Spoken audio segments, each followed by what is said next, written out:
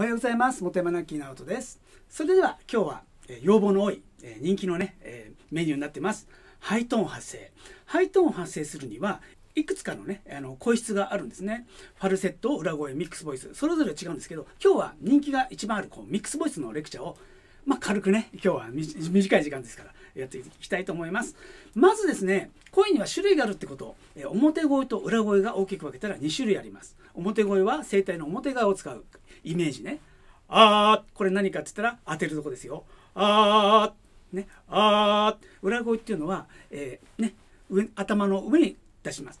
はー、まあこれがいわゆる裏声だよね。はー、ね。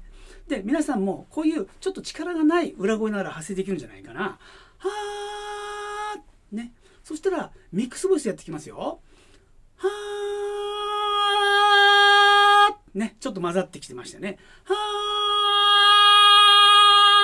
ーと、こういう感じで、眉間のあたりで止める感じですね。はーこれ完全混ざった音ですね。はー本番用にちょっと一回出してきます。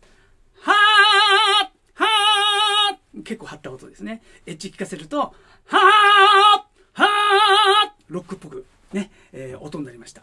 それでは練習パターンとしてはもう一個ね、ちょっと案内しておきましょう。えー低い音から高い音に入る練習ですね。はーこれはね、皆さん発声できると思います。はーね、張った声で。もう一回下から上がってきます。